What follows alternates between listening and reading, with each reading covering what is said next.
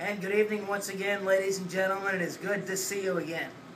How many times in sports have you heard the term regarding an injury, he's out indefinitely? Now, out indefinitely means indefinitely, and for different guys it means days, weeks, and for some guys months. Kobe Bryant last night sprained his ankle bad. He admitted that. And he's out indefinitely. They took x-rays.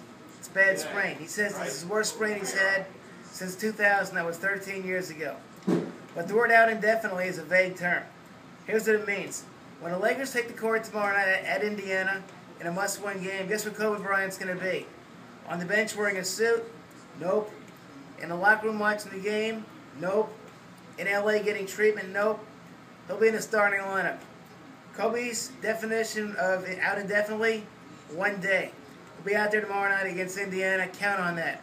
Later on today on the world famous game show called Name That Big Stick, our guy is the great Harmon Killebrew, Twins Hall of Famer. I'll see you guys later on.